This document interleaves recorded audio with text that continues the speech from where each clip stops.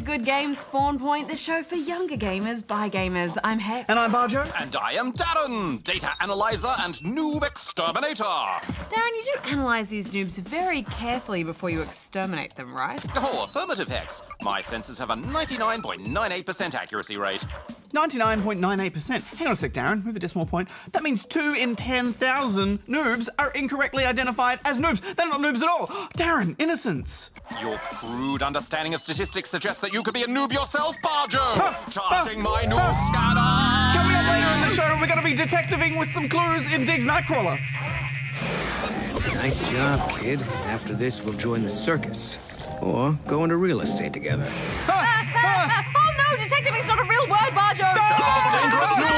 Noob levels detected. Okay, okay, everyone, everyone. Calm down, everyone calm down. It's okay, there's no noobs here, right? No noobs at all Yeah. in this studio. Let's move on. Plus, we build little villages and make friends in Animal Crossing New Leaf.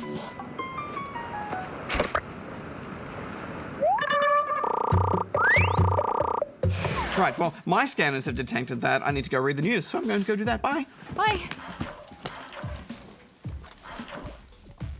Swear I'm not a noob. I went through all the checks. Bajo here with the news from around the world. Double Fine Studios' crowdsourced adventure game Broken Age needs more money. Despite the studio gathering over $3 million worth of funds, studio head Tim Schafer revealed that his ambition for the scope of the game has outstripped its budget. As a result, the game will now be shipping in two halves. An early version of the first half will be available as a paid download, with the funds used to continue development. Backers of the project will still get even earlier access to the game's beta. That's the news for this week.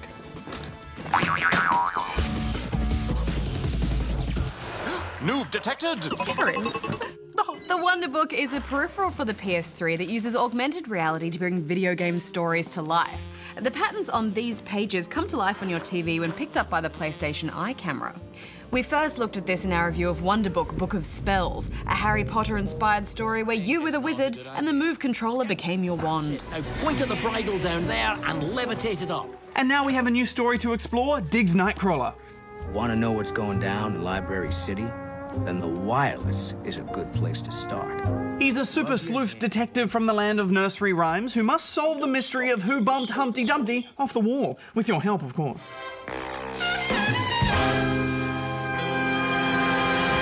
Once again, you start the experience by setting up the camera. Now, the camera needs to be high enough to pick up both you and the images in the book, so you either need to sit on the floor or prop it up onto something really high. Once you've done that, you're good to go. Unlike Book of Spells, Nightcrawler doesn't make much use of the Move controller. Instead, the book serves as a way to create a kind of pop up story experience for you to take part in. You might need to use your hands to tap something or rotate the book to get a better angle to further the story. Another piece. I think we're onto something here. I was surprised that the Move controller featured so little. You'll mostly be doing things like turning the book so Diggs can see around corners and chase villains down corridors. I thought the pop up set pieces looked great, and the animation and storytelling was done really well. Yeah, some nice voice acting too, very film noir, Dick Tracy style, with just great writing. This place is shut tighter than a bank vault. What gives? I told those three monkeys to keep any creepy characters out of here, but I sure didn't mean you.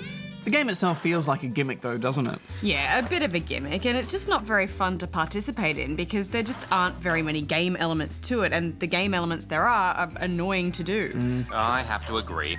I didn't mind the simple ideas like tilting the book to swing lamplight to another area for Diggs to explore, but the game is filled with annoying mini-games where you have to tilt the book left, right, up, and down to maneuver Diggs through an obstacle course. Oh, I hated those. They were so annoying and they just went on for way too long. And of course, the slightest, you know, wrong angling of the book and the image is disrupted too.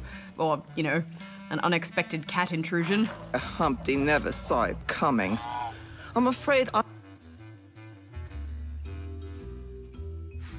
I don't have what you're looking for. Whoops, didn't think that was supposed to be in the story. Hmm. Get out of there, Merlin. You do visit a bunch of nursery rhymes and scenarios, but the interactive elements seem to be the same idea used over and over, and that just wasn't fun. yeah, I reached this point in the game where I was told to match up books in a library, and I was told to guide Diggs up and down ladders towards the matching book covers. But this was infuriatingly fiddly and kept wigging out every time Diggs got near the spot I needed him to be. It's so annoying. In the end, I just gave up in utter frustration. It's a shame because the storytelling was a lot of fun and this did have the potential to be an interesting experience. But it still feels very much like the developers are experimenting with a new idea that just doesn't have enough substance to make it worthwhile. Yes, I think there is a place for augmented reality games. They just need to do it a lot better. So I'm giving this 4 out of 10 rubber chickens. It was a three from me. But wouldn't it have been great if the book could have detected that I was getting frustrated with it and then made it more challenging? Well, uh, well, Goose has been visiting some scientists who have been working on just that by studying people's brains when they play. Hmm, let's take a look. Have you ever given up on a game because it was just a bit too hard?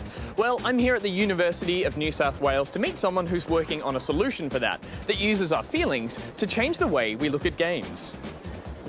G'day, Alan. How you going? Good. How's it going? So, can you tell me, what are you working on here today? I'm gathering EEG data from the headset, and so we want to be able to use this data in real time to make a game easier or harder depending on how you're feeling at the time. The game I've chosen is called Spelunky, and this is a, a action platformer. I've used this game because it's got lots of obstacles, traps. If you die, you got to start all over again, so you're less likely to make the same mistake over and over again. What results have you found so far? I've definitely noticed large spikes in frustration when people are dying.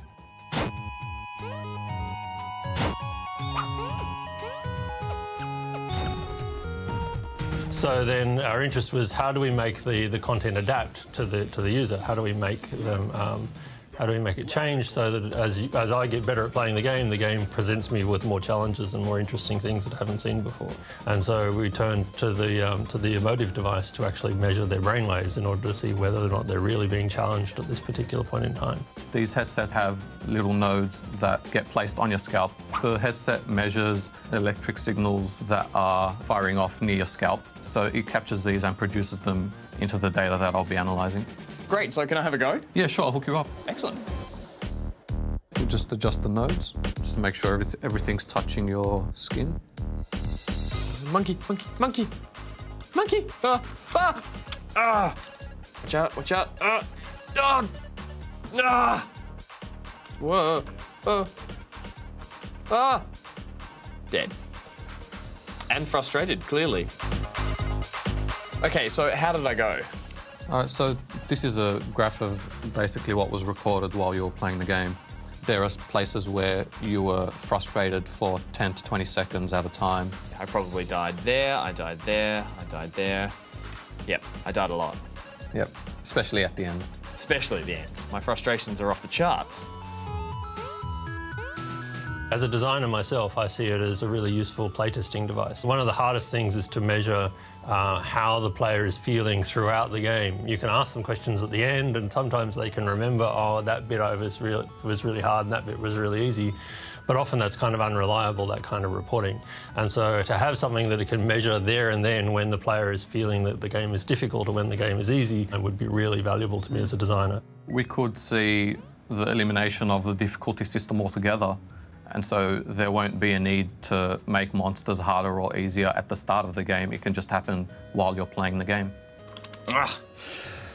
Well, hopefully one day we'll see technology like this powering a whole new generation of games. And who knows, when we shake our fists and complain at the screen, it might just listen.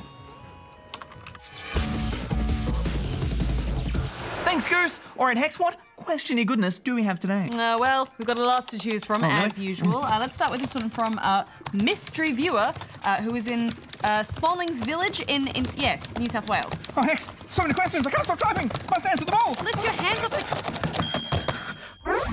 Hey GGSP, I am trying to download your awesome Minecraft world, but I am having trouble doing the steps to download it.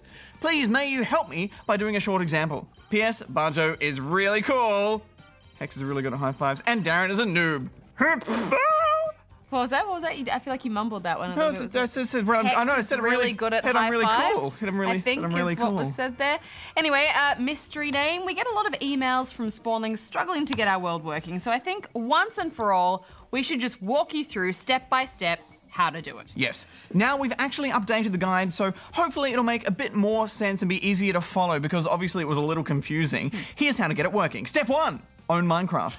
Our file is just a save game and not a playable version of Minecraft, so you'll need to get yourself a copy of the PC version from the official website. Our save file won't work on Pocket or the Xbox versions. Step two, go to our website and download Our World. And it's the same file no matter if you play on a Mac or a Windows PC. Step three, open up the Minecraft launcher, then click on this little button, and you'll see there's a link to where Minecraft is installed on your PC. Then find the folder called Saves. Step four, open up our save file using an archival program. If you don't have an archival program, then there's a bunch of free ones we link you to on our guide. Step 5, with that open, you should see a folder called Good Games World 1. Just drag and drop that into the Saves folder where Minecraft is installed. And you're done. Just launch Minecraft and you should see the save file there when you start a game. Well, hopefully that helped you out. Uh, mystery name, but moving on to this one now from Guy, uh, who lives in somewhere, New South Wales. I've always wanted to play FLT, but when I put those characters on Google, it won't work. So, what is it really called? Well, there's your problem, Guy. It's FTL, not FLT. It's short for faster than light. So if you type in FTL, faster than light, it should be the first result. Well, hopefully that helps you out, but let's move right along to this one from Jacob in Kenthurst, New South Wales. Hmm. Mellow TGSP. Is there any way of getting Game Dev Tycoon without having to pay? And does it bother you that Darren doesn't have any eyes? Well, Darren does have eyes, although I suppose technically they're kind of uh, camera sensors rather than Hmm. eyes. But uh, no, that doesn't bother us. Um, his singing really bothers us. Once upon a time, I was falling in love. Now I'm only falling apart. There's nothing I can do. Nothing I can do. A A total eclipse of the heart. Yeah, Night Terror's about his singing. As for if you can get Game Dev Tycoon without paying, well, no, you can't. You do have to pay for it. Well, you could technically get it without paying, but that would be piracy, which is illegal and no different from stealing. Uh, funnily enough, though, the developers actually built in a little feature into the game where it knows if you've pirated it. And then at some point in the game, your games just don't make any money because everyone is pirating your games in the game. Yes, it was a clever way to give those pirates a taste of their own medicine and a clever marketing strategy for them as well. Indeed, it is. But uh, let's move on now to this one from Ainsley, uh, who is in Melbourne, Caroline Springs, Victoria. Well, that place sounds lovely. Hmm. Full of springs. And Caroline's. Everyone's jumping up and down. Hi, good game. When is Plants vs. Zombie Garden Warfare coming out on PC, and can you show me the trailer? Thanks. Well, Ainsley, we don't have an exact release date for it at the moment. All we've been told is that it's going to come out towards the middle of next year, sometime between April and June, we'd say. And uh, here's a quick look at some gameplay. Ow!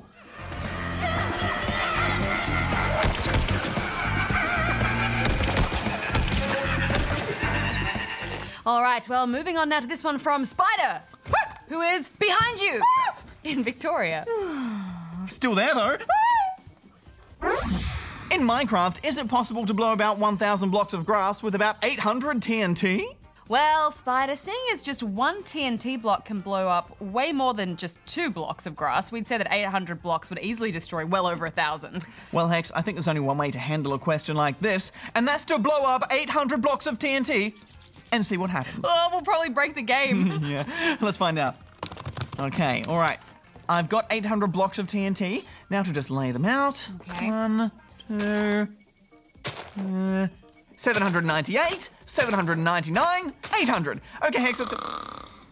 Ah, what? Okay, Hex is ready. We're ready to go. Ready to blow Oh, up. to bl- blow up the blocks of grass? Yeah, yeah, yeah. This is gonna be awesome. Are you ready for a big boom? This is like 300 times how much when I used up when I used it to blow up Darren. You ready, Hex? Yeah, is gonna be Ah, awesome. ready as I want to be. Okay, here we go. Let's do it. Let's do it.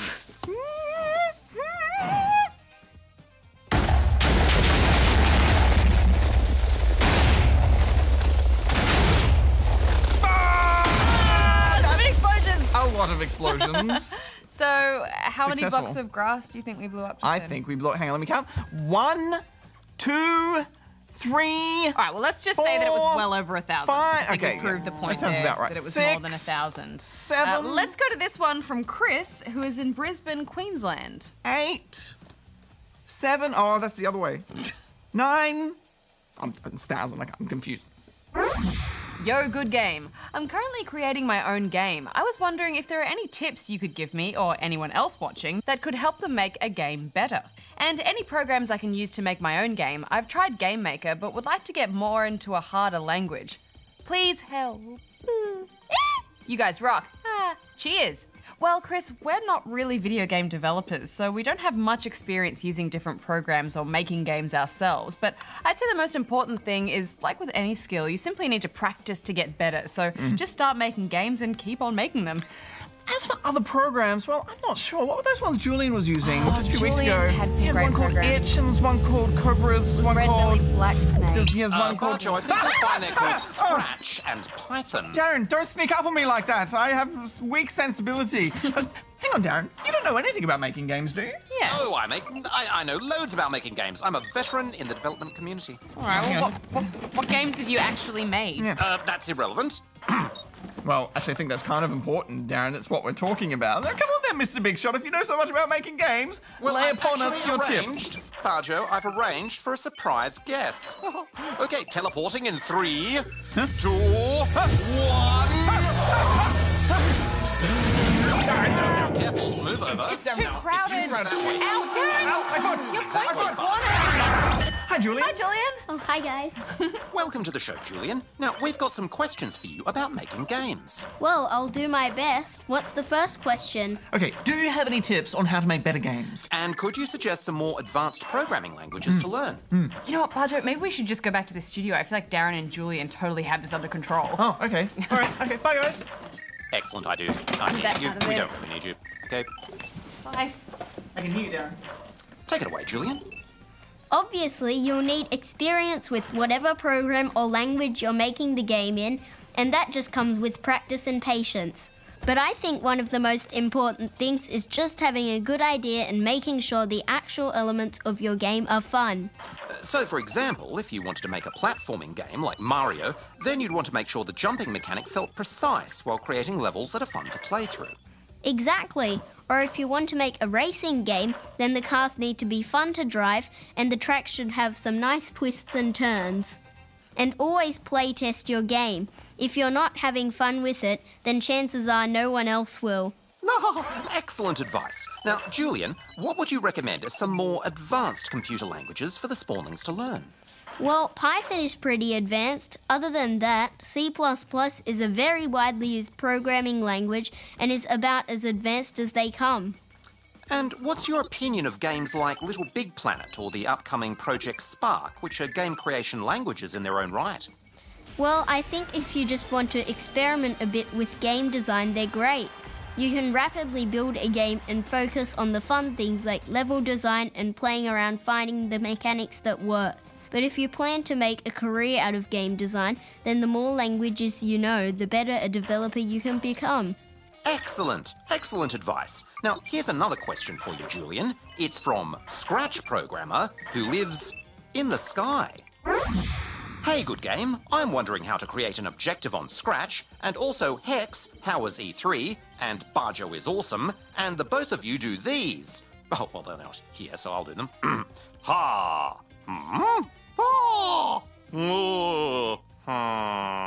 Haha, loved. Thanks. P.S. Darren isn't a noob nor awesome, he's in the middle. Also, Bajo Hex, you guys are mega super super awesome and noobite free. Oh! Well, Scratch Programmer, it really depends on what type of objective you want to create. Say it was for something to touch something else, then you would have to go into the sensing palette and drag into the script the touching block. If you have an if block in your program, you can drag the touching block into the diamond shaped hole. Then click on the small arrow located here and a drop down menu will appear. Then click on the sprite that you want to touch. Next, drag what you want the result of the collision to be into the then block. Here I made it play a sound. And that's how you create a touching objective in Scratch.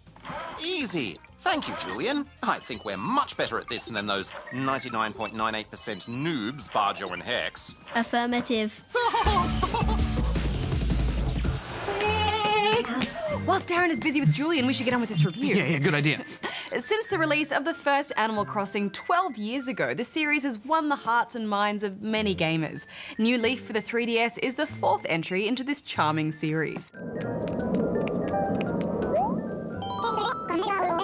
The game begins with your character sitting on a train with a one way ticket destined for a new home. When you arrive, you're mistaken for the new town mayor and get swept up in the enthusiasm of the animal townsfolk. And then, before you know it, you're sitting in the mayor's office writing the town's theme tune. I'm back. Your first assignment as the mayor is to choose where you would like to build your house. Welcome back, Darren. Thank you. I chose to build my house by the sea so that I could enjoy that cool ocean breeze. And look how I decorated my home. The table is made entirely from balloons. Très chic. Yes, well, once you've properly moved in, you can apply for a development permit, which allows you to start moulding your village. Though it's a good idea to chat to your neighbours to gauge what people actually want, and your trusty assistant Isabelle is always ready with advice. Yes, she is absolutely the brains of the operation. She'll come along with you to help scout out areas for development and give you an idea of what it's going to look like when it's complete. Over time, your town will start to grow. When you spend certain amounts of money in stores, the shop will expand and have more items to sell, which of course you'll want to buy, and then the store will get bigger again. and you keep yourself busy with the basics like tending to gardens, catching bugs, digging up fossils, and fishing. You then sell your collected items to the alpaca shop owners for the local currency, bells. You can use these bells to purchase clothing and accessories, fund new buildings, improve your house, and pay Kapp'n to take you on a ship and sing you a song.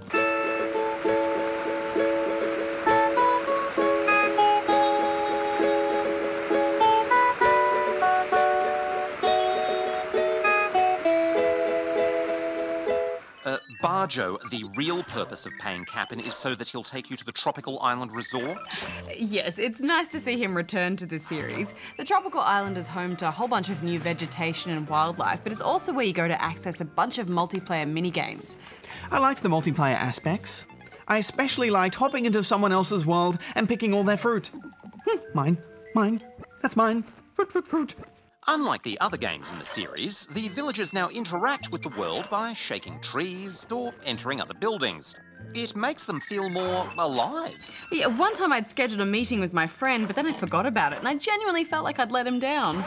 I, found it frustrating that you had to pick up your 3DS at specific times of the day in real time because I've got a lot of games to play, Hex. I can't always be worrying about this one. It's not fair to the other games. Well, the game actually runs off your 3DS's internal clock, so the time of day in game reflects real life.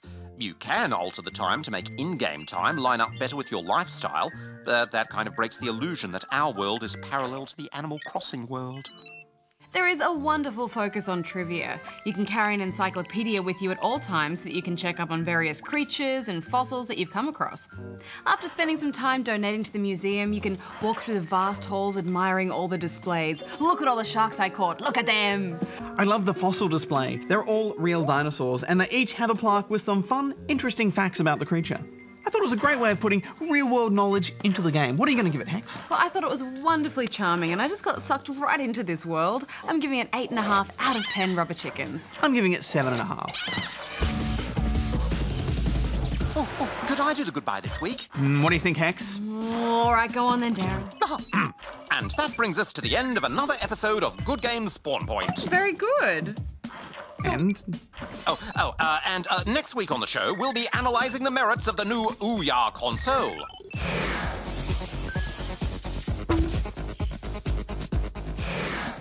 And the, the Wii U. oh, oh, and we'll bring you a full scientific breakdown of Game & Wario on the Wii U.